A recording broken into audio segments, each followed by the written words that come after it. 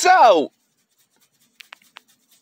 about like yesterday when I got home from Walmart, I actually know GameStop because I had to pay on the rest of my payment for my copy of Mortal Kombat 1 on the Premium Edition for the Nintendo Switch. Which, by the way, stay tuned for the unboxing of that two weeks from today. So, okay, um, yes, uh,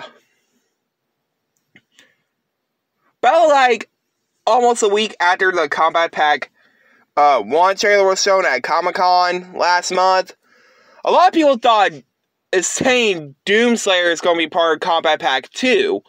And now a very interesting one that's kind of like very interesting.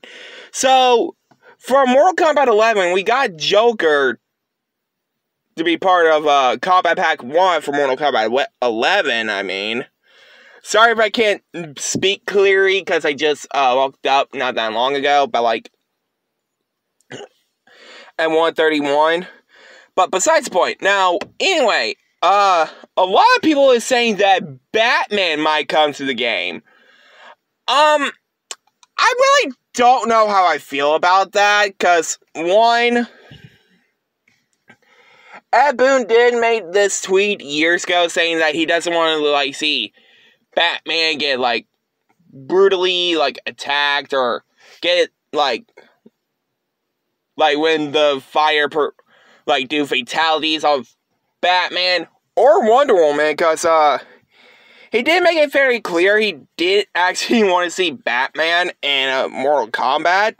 Because, you know, like, some people saying it's to probably be like the same thing, like how, like, when Sub Zero and Raiden came to the Injustice world from Injustice 2 to be part of the DLC roster. Um, I was surprised that they want Batman in the game.